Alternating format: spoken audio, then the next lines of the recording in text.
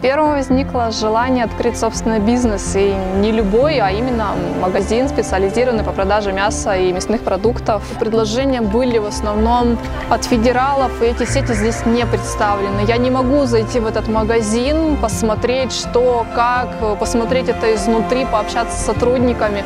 А здесь, пожалуйста, можно проехать все магазины по городу, посмотреть, где есть какие-то плюсы, есть какие-то минусы. С нами провели личную встречу, а это очень много значит.